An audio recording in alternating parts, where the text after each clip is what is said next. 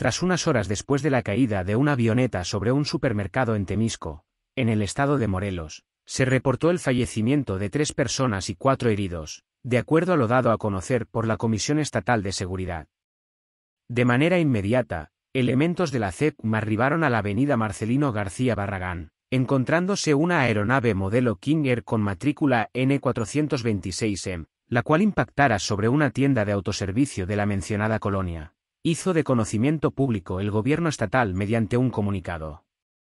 Fue alrededor de la una y media de la tarde de este lunes cuando se reportó la caída de una aeronave en las instalaciones de un supermercado localizado en la colonia Azteca, en el municipio de Temisco, Morelos, lo que provocó la rápida movilización de los cuerpos de seguridad y emergencias médicas.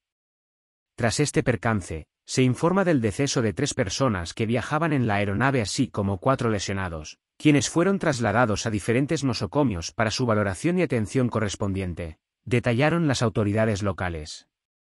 A través de sus redes sociales oficiales, el gobernador del estado de Morelos, Cuauhtémoc Blanco, dio a conocer que personal de emergencias ya se habían movilizado para dar atención a las personas que lo requirieran. Luego del siniestro que dejó, por lo menos, tres personas sin vida, arribaron al lugar elementos de la Cruz Roja, Protección Civil y Comisión Estatal de Seguridad, quienes brindaron los primeros auxilios a los heridos, al tiempo que contabilizaron los decesos.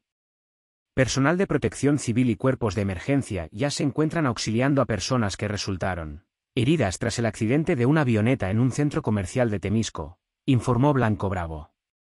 Hasta el momento, no se tiene conocimiento sobre las causas del desplome de la avioneta, así como tampoco se conocen los nombres de las personas que la tripulaban al momento de sufrir el accidente.